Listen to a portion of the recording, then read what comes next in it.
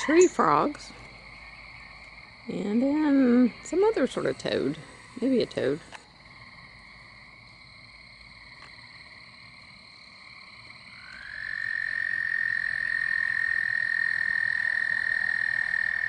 Look that one up.